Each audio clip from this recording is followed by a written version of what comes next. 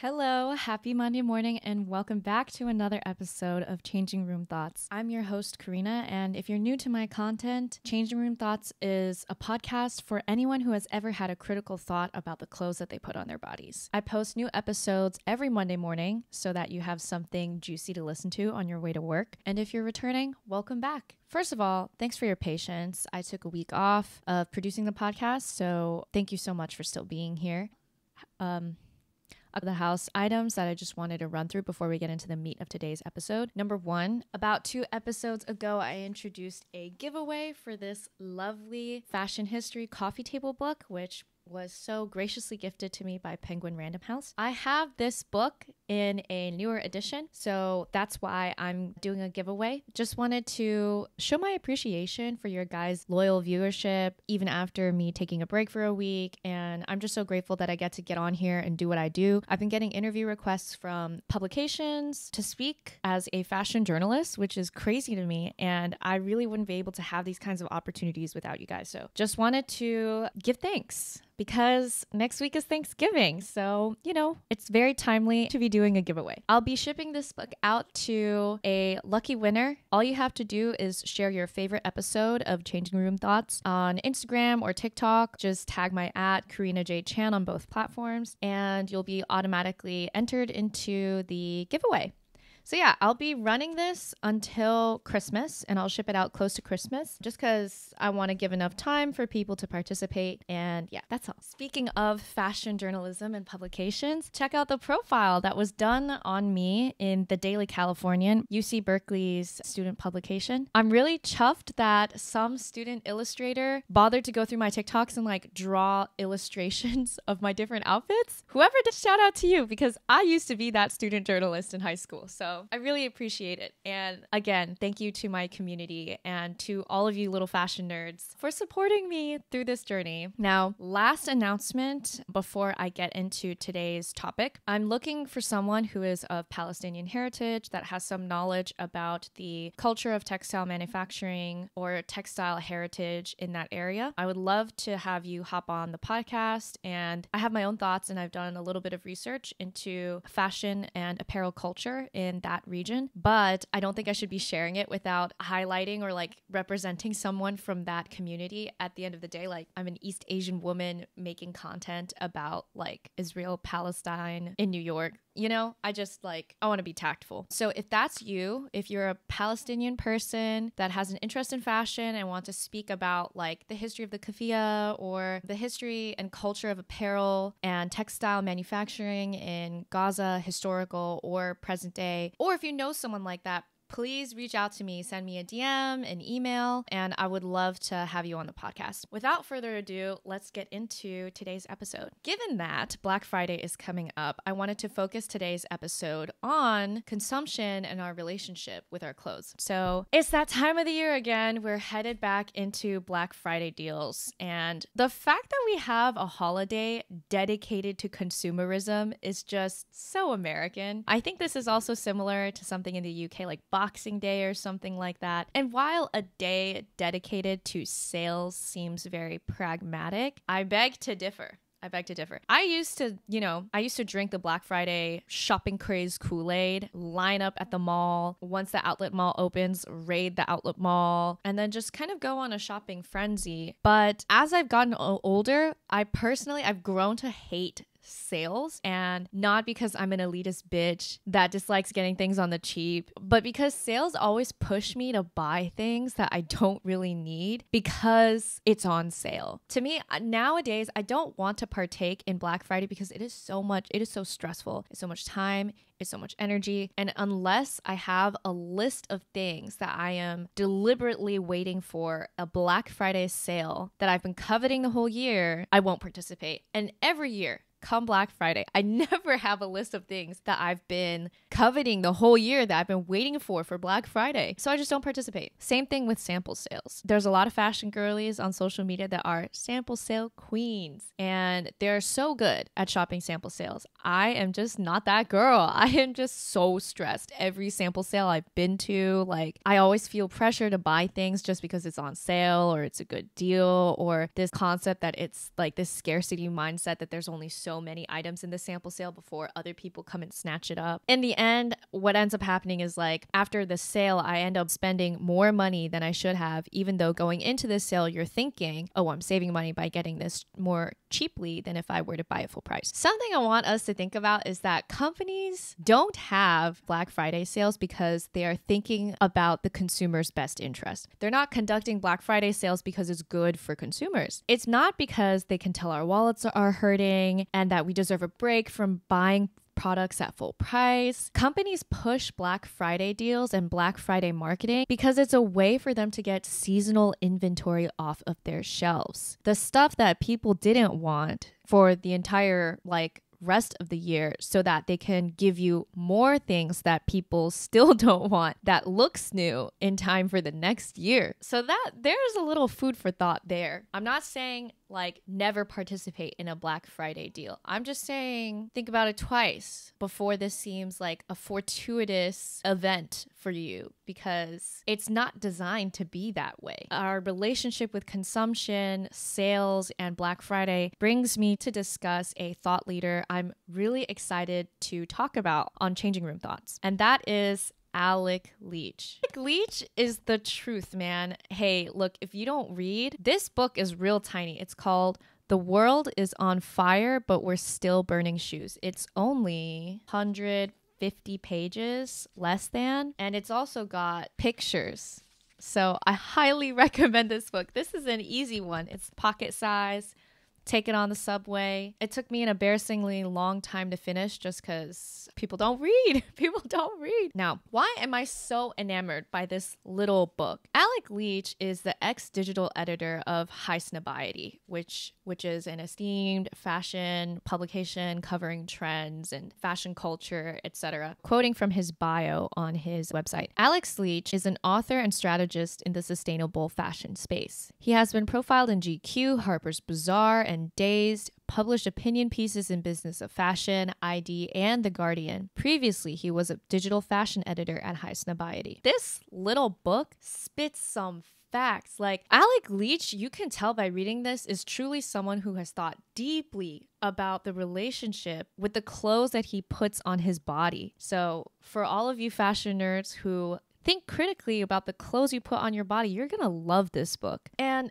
I think Alec Leach's journey with fashion echoes our generation's existential dread that many of us face about fashion and its impacts on the environment. Again, I said this before. And I don't think I'm unique in this belief, but I believe that everybody deserves the right to express themselves as authentically as they would want to be, as individualistically as they would want to be, without having to trade off the guilt of harming somebody else or harming our planet in the process. Dress is a major part of the human experience, and it is an endlessly satisfying and almost spiritual experience and practice. If fashion is something that you care deeply about, that you enjoy immensely, it's an awful trade off to have to make every morning when you get dressed. When you think about how the clothes you're putting on cost gallons of petroleum to produce, tons of water to make, hours of slave labor to construct. To quote Alec, fashion isn't really about clothes. If it was, we'd have stopped shopping years ago. If you ask me, it's more like a mirror. When we look into it, we see our hopes, dreams, and fears reflected back at us. Fashion is about who we are, who we want to be, and who everyone else wants to be. I think what this book does a really good job of doing is explaining why, even though we're aware of the environmental impacts of fashion, we are addicted to it and we can't distance ourselves from it. Now, the book starts with a lot of doom and gloom. I'd say a majority of it, let's see, about a hundred plus pages of this cover the awful effects of fashion in our world. It covers the labor strikes of Bangladeshi garment workers. It covers the lack of transparency throughout the fashion supply chain system, which makes it really difficult for us to actually have traceability and accountability on sustainable platitudes. It covers the misalignment of incentives and economic structure between brands and manufacturers that pressure manufacturers to produce more for less while also maintaining sustainable commitments, which is unrealistic. It's pretty bleak the first 100 chapters. It really makes you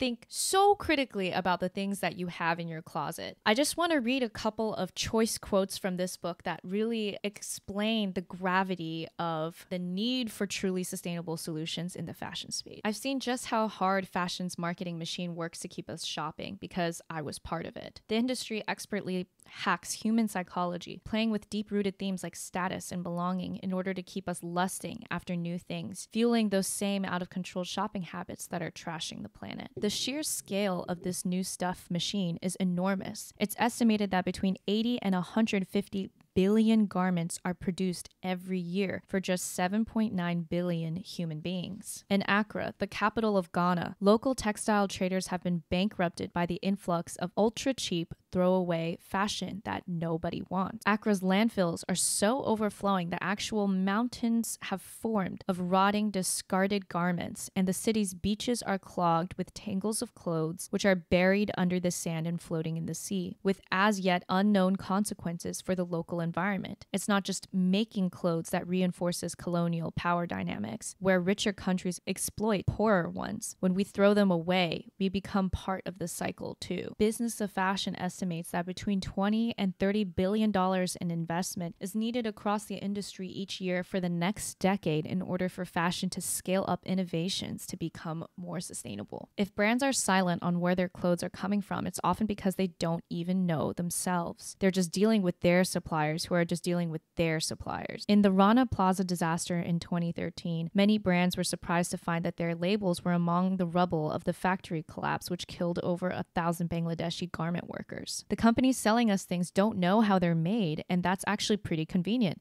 because what they don't know can't hurt them. So, those are just a couple of gems from this small yet mighty book that is chock full of wisdom, an honest look at how fashion and sustainability intersect. If you weren't already made aware of the environmental impacts of fashion on sustainability, I hope that a couple of those quotes have piqued your interest and is enough to set you on a further path of research and exploration to educate yourself on the topic. While the book starts with a lot of doom and gloom, it dishes out the truth of fashion and why it is such an awful contributor to pollution and climate concerns. The bastion of hope is in the last chapter. Now, the last 20 or so pages of this book is the hopeful part, which is called The Way Out. In the last chapter, Alec Leach shares the insight that has fundamentally changed the way that I view my relationship to my clothes. It is the closest answer that I can find to my dilemma, which is how can I love fashion if I know what it does to other people and the planet? And the answer is a little bit unexpected but it is in treating your closet like a relationship. Now, I'm gonna call all of y'all out because when a friend is in a toxic relationship, with an ex or someone that is just not good for them. It's so easy for us. It is so clear to us what we must do. We must remove ourselves from the relationship, work on ourselves, learn from this situation, and make sure that the next person we choose is not like that. Clothing is rarely seen as this kind of relationship.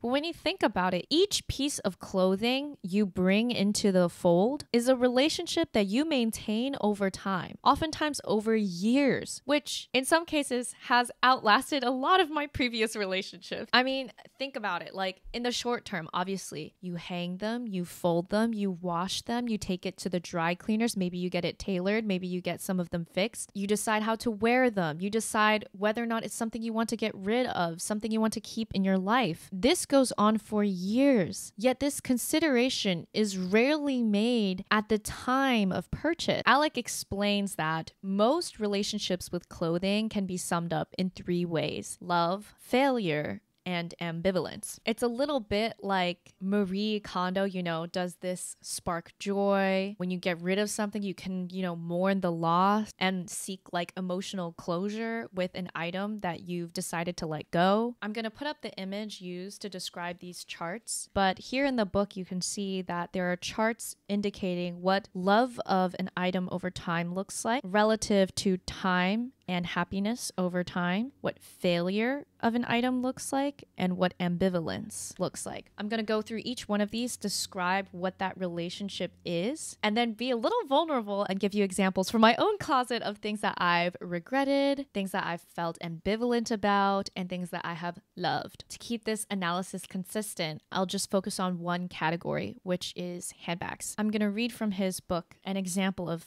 a moment of failure. Every item you have is, in its own way, a relationship you're in. When you view shopping as a relationship, the significance and reward of only buying what we truly love becomes so much clearer. For every purchase that gave me joy, there was one or a few that did the opposite. With regret purchases, the things I bought but will never truly love, I never got further than the initial excitement. They quickly became a burden. During my time as an editor, I forget when exactly, I was browsing through lookbooks, probably time at work. I came across a brand that was inspired for a season by motocross or touring cars. The guy in the lookbook was hanging out at a racetrack in one of those paneled, boxy racing jackets that motocross riders wear. I don't know anything about motocross or touring cars or even cars full stop. But at that moment, I decided that yes, I urgently needed to look like someone who drives very fast for a living. A paneled red and beige suede racing jacket was what had been missing my whole life. I just didn't know it. So I bought it, and it wasn't cheap because it was shipped from Canada. I needed to go to the customs office on the other side of Berlin to pick it up and pay some import duties. I hadn't thought much about the sizing, so it was a bit small, so more work, emailing the brand, taking the jacket to the post office, and waiting around a month for the new one to come back. This time, the lining was slightly too big, which pulled down on the edges of the suede, ruining the silhouette, more work returning it, more time waiting for it to come back. Turns out, a red suede racing jacket wasn't missing from my life. I didn't need one at all, actually. It didn't do anything for me. It was sort of shapeless. Wearing a red jacket definitely did not make me feel like that carefree guy who drives really fast. It made me feel like a giant red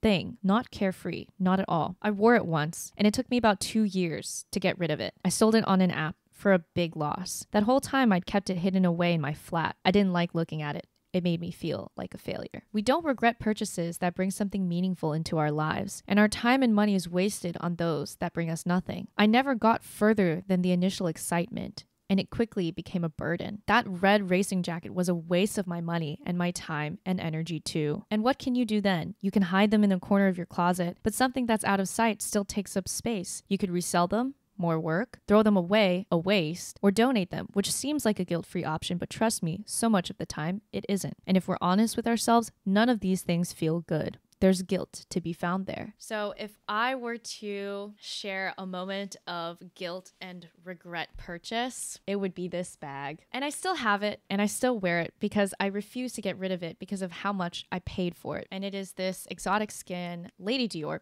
and don't get me wrong, she's gorgeous and, you know, I still wear her from time to time. But this is the purchase I regret the most. And this was when I was younger and not as mature about my money. It came through a windfall of cash due to some smart investments and decided to just blow it on something. I was vacationing with my friend in Hawaii, saw this bag, and just wanted to come back from the vacation with something resplendent. I didn't know what, I just wanted something. This bag is about the same price as that of a used motorcycle. I know this because my roommate at the time was looking into used motorcycles, and when he was telling me how much they were, I thought, oh my God, that's the same cost as a bag. I could trade this piece of leather for a vehicle that would get me from point A to point B. But no, instead, I bought this bag. And while she's gorgeous, and I'll probably pass her down through my family, through my progeny, that's how I can possibly justify this. She is so fragile.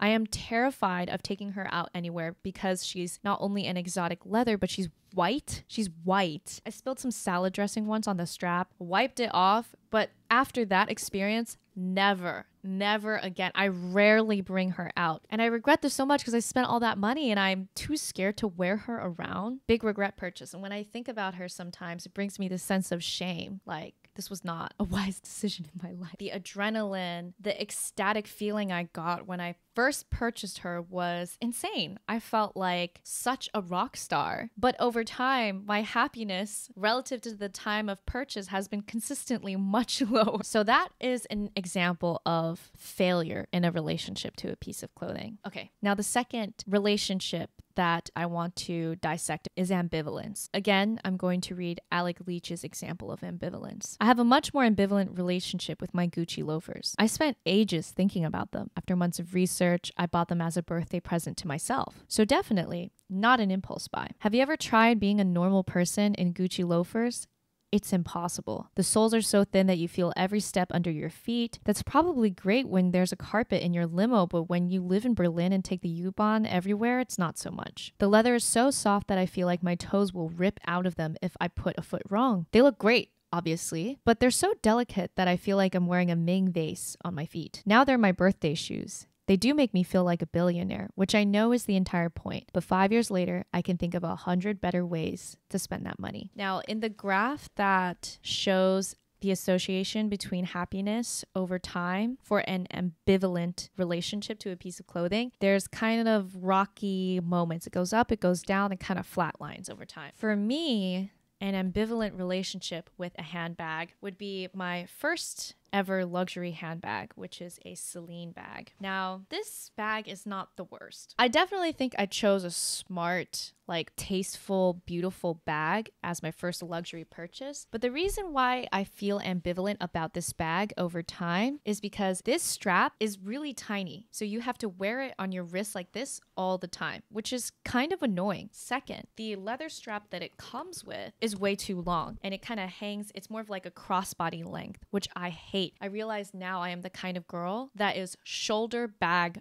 only. I hate having to carry bags in my hand like this. I feel like I'm gonna lose them. I also hate crossbodies because, first of all, I just think they look ugly. Sorry. Second of all, I hate when they like dangle at your hip. When you turn around, they swing and they hit shit. It's just like, no, no, it's just not it. The other issue with this bag is that this print, even though it's really cool and limited edition and so chic and perfect for the fall, that's about the only time I can wear this bag is in the fall. And it is such a preppy print that it's hard to style. It can only work with certain outfits.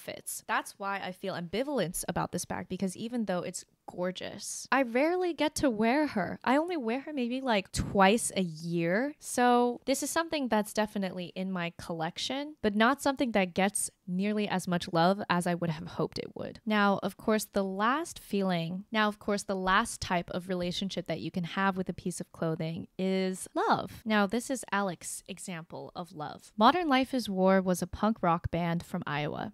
They were my favorite band when I was 18. I never saw them live, they hardly played in the UK and split up after a few records. But their music really touched me, and a decade after I first heard of them, I found a web store in Poland that was selling their merch. It's a typical band tee. It costs something like 15 euros, including shipping. I've worn it to death. The screen print has cracked into a hundred shards of white, which sit on a scratchy Gildan blank that's been washed so many times that it now feels soft against my skin. I love it. The funny thing is, I wasn't even that bothered when I bought it. I definitely wasn't as excited about it as I was for so many other things I bought, then later regretted. But it didn't take long for that tee to become part of my life. The thing with wearing tees to death is that after a few years, you can really smell it. I tried everything to get that old t shirt smell out. I soaked it in baking soda, put vinegar in the washing machine, left it out in the sun for a week. I finally won by spraying the tee with pure vinegar essence and leaving it on my balcony for a few days. I can't quite describe the feeling I got, from getting that tee back into my life. Kind of like passing my driving test, kind of like being reunited with an old friend. All these years later, what have I gotten out of this piece of fabric? It fits great. I love the print. I love how it's cracked over the years. I can wear it with anything. There's also this silent bond with anyone who, like me, fell in love with that kind of music when they were young. But I think the real reason that it's so important to me now is that I liked it enough in the first place to work on it. And the more I put into it, the more loyal I became to it. When things got tough, I put the work in because I wanted it in my life. Just like a friend or a lover, it was worth every minute. Now, the associated graph with a loving relationship to an item over time is obviously sustained happiness over time that is equal to, if not more than, the happiness experienced at the time of purchase. For me, that is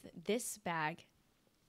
And similarly, I thought nothing of it when I got it. It was $5 at the flea market in San Francisco. It was like an outdoor flea market. It was hanging on a clothing rack, completely ignored. And this thing is now battered to shreds. If you follow me, you've seen my outfits on TikTok, on Instagram. Chances are like seven out of 10 times I'm wearing this bag. This bag, I have learned so many things about myself with this bag. First of all, it's a shoulder bag, which means it is so functional for me. I don't have to worry about losing it. I can carry it and just kind of forget that I'm even wearing it sometimes because it's comfortable. Secondly, I've always had a thing for metallic, very Paco Rabanne type textures. And what I love about this bag is that on one side, it is this ordinary kind of metal chainmail. On the other side, it is a bit patterned. There's a checkered pattern where some squares have the ordinary chainmail and some of them have these more round, matte beaded silver balls on it. And you can tell at the seams, it's kind of breaking at the seams. Over here is a good example. Some of these pieces of chainmail are falling off. And how I know I love it is that now that it has started to fall apart, I am scared of wearing it because I love it it so much and I don't want it to be out of my rotation. I've started looking for replacements of this bag and sadly I'm having a hard time finding one, but it is something I love so much. I would put in the time and effort to A, get it fixed, and B, find a replacement for this bag because I just love it so much. And yeah, I never could have fathomed at the time of purchasing that I would love this bag as much as I do. But reflecting on the relationship that I have with this bag gives me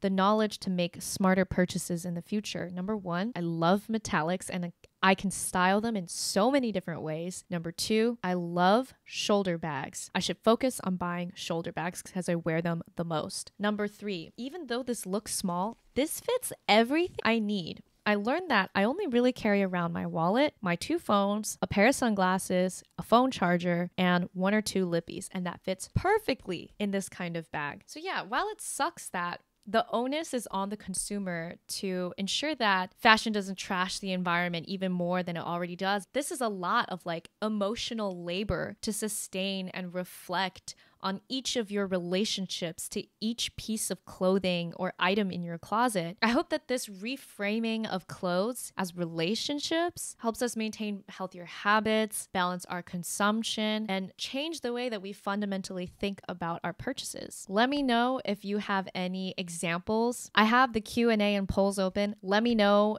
if you have any examples of items in your closet that is a reflection of a failed relationship, a loving relationship, or an ambivalent relationship. I would love to have more examples. Don't forget, if you want to enter the giveaway for the coffee table book, to share, tag me in a story, post, or whatever on Instagram with your favorite episode of Changing Room Thoughts. And I'll see you guys next Monday. Happy Thanksgiving and happy Black Friday shopping. I just hope that you come out of Black Friday with things that that you love. All right, bye.